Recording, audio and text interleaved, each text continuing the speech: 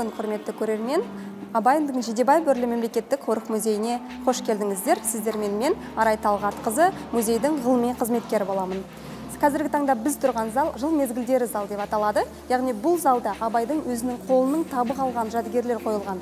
Яғни бұл жерде семей қаласындағы өлкетану музейі ашылған кезде абайдың өзінің тапсырған заттары орын алған. 1940 жылы музей ашылған кезде өлкетану музейінен осы абай музейіне алынған. Ендеше абайдың өзінің тапсырған заттарымен таныс болайық. Яғни бұл жерде шоқпар айбалта құты нақты абайдың өзінің тапсырған заттары. Қалған жәдігерлер яғни сол заманнан көрініс беретін жәдігерлер. Келесі витринадан көретініміз яғни сыбызғы абайдың иері аса таяқ абайдың тұмар домбырасы. Бұл абайдың өзінің қолданған заттары. Келесі витринадан яғни біз бұл жерде сандықша кісе белбеуді байқасаңыздар болады. Тері торсық бар. Бұл сандықшаның өзі париж қаласында көрмеге апарып қойылған. Сонымен қатар тұрмыстық заттарға келер болсақ бұл жерде қымыз піспек кесе қап ет табақ сияқты қазіргі таңда да қолданыста бар заттар. Сол кезде абайдың өзінің қолданған заттарының ішінде сақталған келесі залға өтсек. Бұл жерде енді құлақтан кіріп бойдалар жақсы ән мен тәтті күй деп абайдың өзі айтып өткендей дала әуені деп аталатын зал. Бұл жерден біз қазақтың ұлттық аспаптарын көре аламыз музыкалық аспаптарын яғни шаң қобыз қыл қобыз. Енді бұл жердің бір айта кететіні яғни бұл залда әртүрлі аспап ойнап тұрса да яғни кез келген мына аспаптың алдына барып нүктеге тұрған бетте сол нақты қай аспаптың алдында тұрсыз сол аспаптың үнін естуге болады. Сондай арнайы құрылғы орнатылған.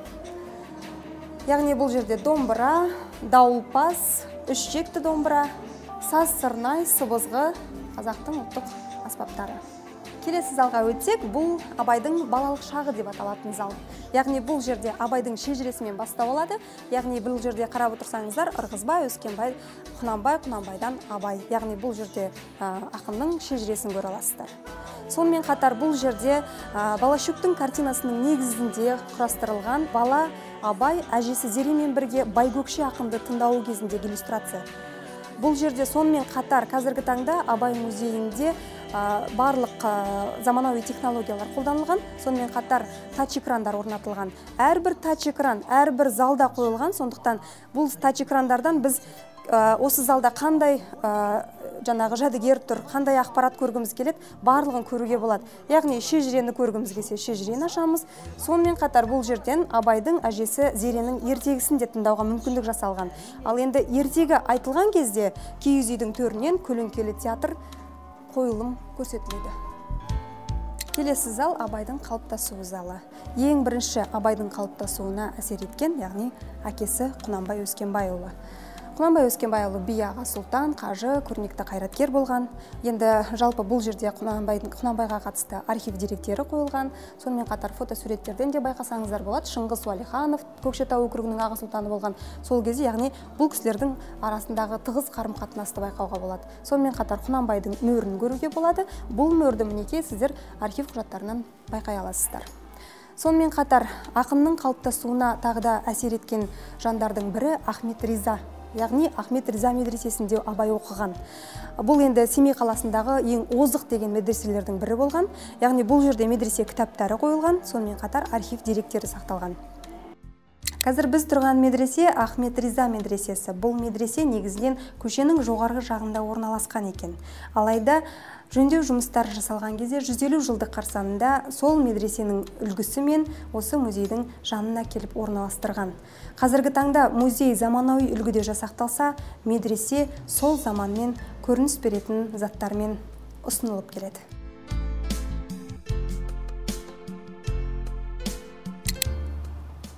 Ахмет риза медресесінде сақталған кітаптарды осы медреседен көруге болады. Яғни бұл жерде 200-ден астам кітап сақталған.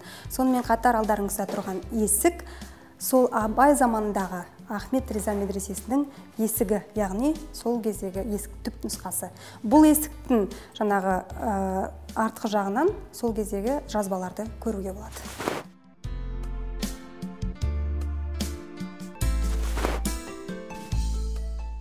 Медреседе сақталған кітаптардың көпшілігі башқұрт араб шағатай тілдерінде жазылған кітаптар. Бұл әрбір залдағыдай және айтып өткеніміздей тач экрандардан бұл жерде әр архив деректері болмаса кітаптар жайлы кез келген ақпаратты көруге болады. Яғни кітапты ашсақ бұл жерде әр кітапты бұл жерден беттерін парақтай отырып көруге мүмкіндік жасалған. Сіздердің алдарыңызда тұрған 3000 кубик рубиктан тұратын абай бейнесі. Яғни қазақстан speed cubing federation компаниясының арман машимовтың басшылығымен сол компанияның командасы осындай туындыны музейге әкеліп орнатты. Яғни біраз уақытқа дейін бұл көрермен назарына ұсынылатын болады. Ең алғашқы кездерде музей экспозициясы орналасқан әнияр молдабаевтың үйі. Яғни бұл жерде тұрған иллюстрация әнияр молдабаев ақынның шәкірті інісі болған адам. Семей қаласына келіп жүргенде ақын әнияр молдабаевтың үйіне тоқтап жүргенде әнияр молдабаев осындай кабинет жасап қойған екен. Абайдың жидебайдан семейге қатынап жүрген тарантасының көшірмесі. Яғни бұл тарантастың түпнұсқасы жидебай жерінде абайдың өзінің тұрған үйі яғни қазіргі таңда музейінде сақтаулы тұр қазіргі біз тұрған зал абайдың шығармашылығы залы. Бұл залда ең алдымен шежірелі шыңғыстау картасын ұсынамыз. Яғни бұл жерде семей жерінен жидебай жеріне дейінгі карта. Сонымен қатар абай музей үйінің макеті. Яғни бұл үйде абайдың өзі тұрған. Ең, ең алғашында бұл оспан мен еркежанның үйі болған екен. Яғни оспан өмірден өткеннен кейін еркежанды әмеңгерлікпен үшінші әйел етіп алады. Сол кезде абай өзінің жаңағы қаладан құрылысшыларды алдыртып қала үлгісінде салдырған үй. Яғни бұл жерде еркежанмен бірге тұрған. Бұл жерде қазіргі таңда музей болып тұр. Яғни музейдің әр залдарының макеті көрсетілген. Сонымен қатар тарантастың түпнұсқасы да сол музейде қойылған. Сонымен қатар бұл жерде бұл жерде абай шығармаларының әр жылдары жарық көрген кітаптарын көре аласыздар. Яғни ең алғашқысы 1909 жылы жарық көрсе артынша жаңағы 22-33 жылы жарық көрген толық жинақтарын көре аласыздар. Сонымен қатар абайдың тоғыз құмалақты сүйіп ойнағанын білетін боларсыздар. Яғни бұл жерде тоғыз құмалақ тақтасы сонымен қатар әр музейлерден алынған сыйлықтар да көрсетілген. Яғни бұл жерде тұрған тастың жапырақ бедері түскен тастың өзі германиядан гете музейінен әкелінген. Яғни гетенің жеке коллекциясынан әкелінген туынды. Сонымен қатар әр залда жаңа айтып өткенімдей тач экрандар қойылған. Яғни бұл жерден абай шығармашылығына қатысты кез келген ақпаратты көре аласыздар. Яғни абай өлеңдерін оқып абай әндерін тыңдауға мүмкіндік жасалған. Бұндай мүмкіндік әр музейдің әр залында орнатылған. Бұл абайдың ақындық мектебі залы. Яғни көріп тұрғандарыңыздай мұндай ақын төртеу оның екеуі ақылбай мен мағауия абайдың өз балалары қалған екеуі көкбай мен шәкәрім деп мұхтар әуезовтің өзі айтып өткен. Яғни бұл жерде абайдың өзінің ұлдары ақылбай мағауия тұрағұл және сырттан ескерткіштен де көрген боларсыздар. Бұл жерде ақын ұлдарының естеліктері яғни әкем абай туралы естелігі тұрағұлдың. Сонымен қатар абайдың ақын шәкірттерінің бірі көкбай жанатайұлы уәйіс шондыбайұлы әубәкір ақылбайұлының қойын кітапшалары жеке өздерінің жазған естеліктері қойылған.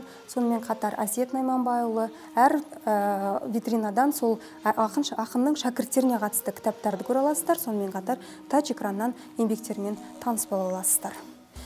Ал енді келесі витринадан шәкәрім құдайбердіұлы. Яғни бұл жерде шәкәрімнің саятшылыққа жалпы аңшылыққа жақын болғандығын білеміз. Яғни бұл жерде аңшылыққа қатысты дүниелер қойылған сонымен қатар шәкәрімнің өзінің жасаған шоқпары мен саптаяғы да қойылған. Яғни бұл жерде шәкәрімнің жақында 2017 жылы ғана тапсырылған заттар сонымен қатар шәкәрім атылып кеткеннен кейін құр құдыққа тасталып 30 жыл жатқаны да белгілі. Яғни 30 жылдан кейін ақынның ұлы ахат шәкәрімұлы ақынның денесін яғни әкесінің денесін өзі жалғыз қазып алып алдарыңызда тұрған чемоданға мүрдесін салып жеткізген екен. Яғни жидебай жеріне апарып жерлеген. Сонымен қатар алдарыңызда ахат шәкәрімұлын ә, көре аламыз. Яғни бұл жерде бұл кісі ақын композитор ұстаз жарпы шәкәрім мұрасын насихаттаушылардың бірі. Яғни бұл жерде бұл кісінің осы музейде қызмет атқарғанын көруге болады. Музейде бұл ахат шәкәрімұлына қатысты жалпы ахат шәкәрімұлының естеліктері архив деректері өте көп музей қорында. Яғни жаңа айтып өткен ақынның мүрдесін алып жидебай жеріне апарып жерлеген мінекей ахат шәкәрімұлы. Сонымен қатар бұл жерде мұхтар әуезовтің кабинетінің иллюстрациясы. Яғни сол кездегі жиһаз мұхтар әуезовтің костюмы. Бұл жерде жаңа ескерткіштен көргендеріңіздей абай ұлы ақын абай ұлдарымен яғни абайдың өзі екі ақ фотосурет сақталған бүгінгі күнге жеткен. Бұл сурет 1896 жылы кузнецов салонында түсірілген. Сонымен қатар екінші фотосурет ол отбасымен түскен суреті. Яғни отбасымен түскен суретін бұл жерден көре аласыздар. Сонымен қатар ақынның әйгерімге яғни әйеліне сыйға тартқан ертоқымы. Бұл жерде күмістен жасалған ертоқым. Сонымен қатар еркежанның кимешегі мен камзолы да музейдің құнды жәдігерлерінің бірі.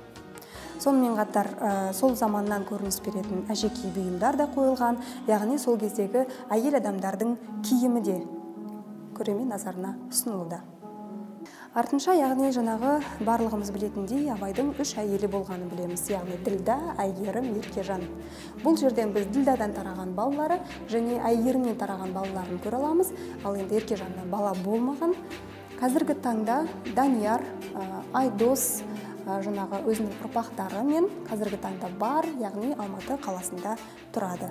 Келесі витриналардан абайдың ұлы отан соғысына қатысқан ұрпақтарын көре аласыздар. Яғни бұл жерде абайдың ұрпақтары ұлы отан соғысына қатысқан сол жерде осы елімізде қалған туған туыстарына ет жақындарына хаттар жолдаған екен. Яғни мінекей алдарыңызда тұрған үш бұл хаттар. Абайдың ұрпақтарының соғыс жерінен жазған хаттары. Соғыстан тек екі ұрпағы ғана оралған оның бірі алпаш жібірәйілұлы болса бірі ишағы жағыпар қызы мінекей алдарыңызда көрсеңіздер болады.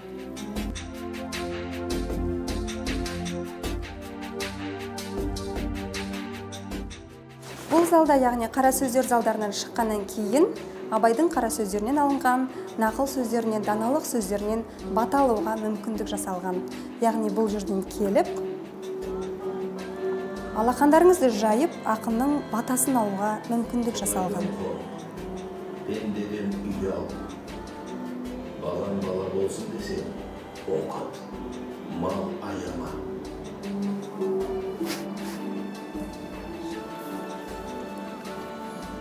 Келесі зал абайдың мұрасы. Яғни бұл залда біз жидебай жерінің макетінен бастасақ яғни бұл жерде мінекей алдарыңызда тұрған жидебай жері яғни жидебайдағы музей зере олжан кесенесі құнанбай құдығы абай шәкәрім кесенелерін көре аласыздар.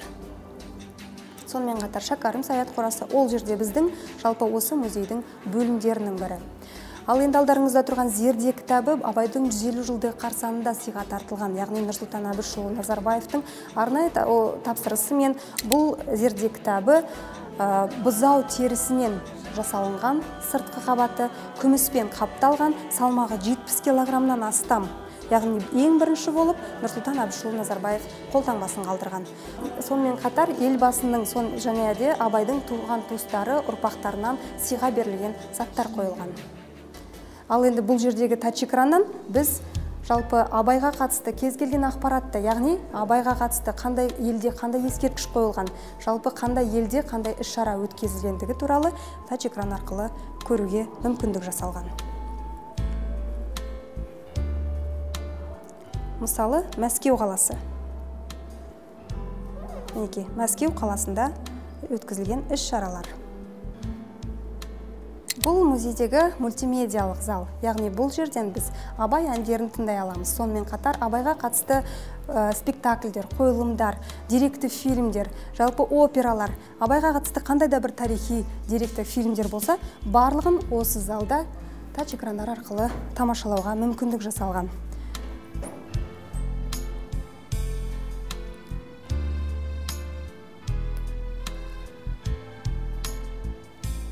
2020 жылы президент қасым жомарт кемелұлы тоқаевтың арнайы жарлығымен музей толықтай жаңартылды яғни заманауи үлгіде жасақталды. Заманауи үлгідегі музейді келіп көргіңіз келсе мархабат. Осымен біздің экскурсиямыз тәмам